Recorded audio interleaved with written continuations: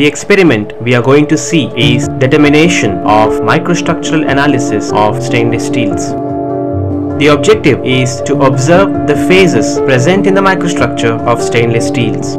The apparatus used are belt grinder, abrasive papers, flat glass plate with wooden framework, polishing abrasive, specimen, Marble's reagent as etchant and optical microscope.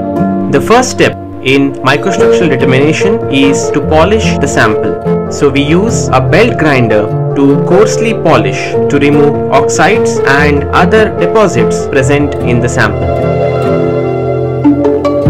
After belt grinder, the next step is to polish using emery paper of different grades.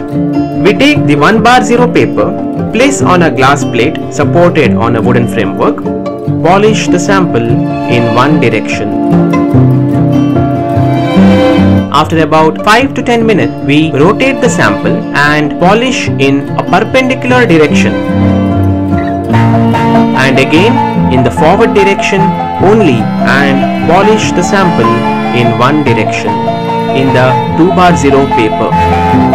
We repeat the same exercise for the finer grade 3 bar 0 paper and finish the mechanical polishing on a 4 bar 0 paper.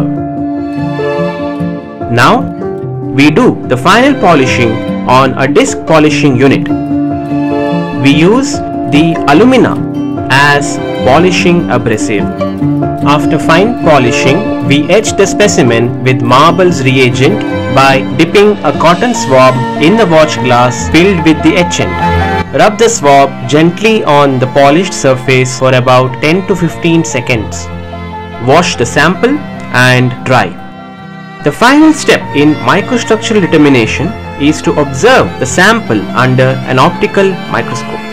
The first step is to place the sample and adjust the microscope in order to focus the sample and choose a particular magnification. Once the image is focused, we use the help of a software to record the image on the computer and assign a micrometer label as per the magnification. To record high magnification image, we change the magnification in the optical microscope and record the image on the computer. Now let us analyze the result. What we observe here is the image recorded at a magnification of 50x. The sample is austenitic stainless steel with chromium 25%, nickel 12% and carbon 0.45%. This is the image which is seen at higher magnification.